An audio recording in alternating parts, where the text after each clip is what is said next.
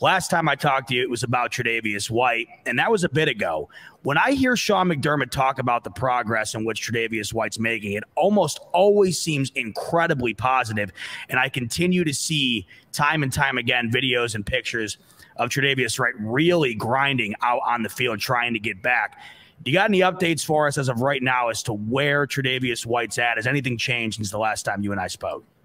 Yeah. So when he debuted in practice and they showed him sprinting and kind of landing on the one leg, he he didn't.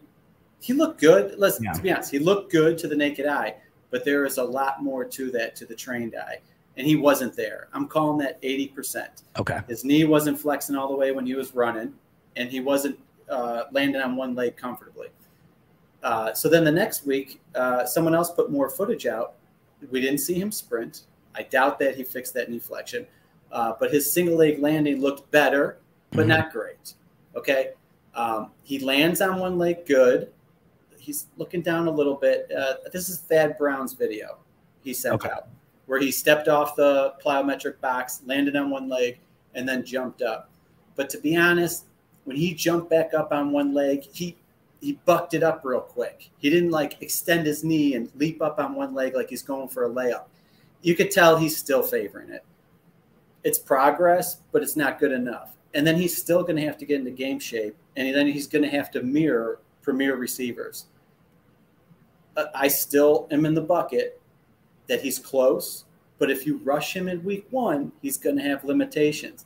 Limitations can lead to com- compensatory injuries obviously worst case scenario he blows his acl again because he's not right. at full speed but i mean i'm talking like tendonitis throws out his back because because he's kind of been limping on it and favored it um, that's that's kind of the trend that would happen if i think if he goes back week one you can put him on ir or the pup which would take him out for four weeks the only problem is he can't practice with the team for the four weeks he yeah. could do pt up the wazoo being on the uh, the, the you know um, the meetings and stuff, but he, he still's not getting on field training. That on field training takes, you know, for a veteran, you could say you could speed it up a little bit, but it's like, you know, two to six weeks. It varies. So, yeah. so if he comes off the pup and you think he's just going to jump in week five, I still think that's a sticky situation. If you put him in, if you make him have the active roster and you decide, it's a numbers game. You let him practice for two weeks with the team, and then you activate in week three because you just make him like, you know, inactive for two weeks. That's possible. But if you really want to do the safest thing, what's good for the team and what's good for Tre, you put him on the pup, then you have a 21 day window, three weeks to let him practice with the team, and you decide when you want to activate him.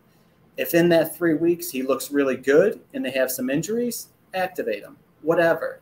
If everything's going smooth, we're four and one, five and oh, just let him fucking practice, get better. You hit the bye week, you grab an. extra. I was just gonna say, yeah. And then he comes he comes back week eight, which would be our seventh game because we're coming off a bye week. Sunday night football in Buffalo against Green Bay. So I, I know mean, it's all that based would be, on what, that'd be, that'd be, what a scene that would be. No kidding, right? And I know it all depends on what he's showing, right? But in your opinion, if it's not legitimately 100%, are you in favor of waiting till after the bye? Is that kind of the vibe you're getting? Well, you're the, here's the here's the problem. It's it's not going to be 100%. Okay. Even if you wait till the bye. Okay. But he'll be 95% and he's going to mature through the season.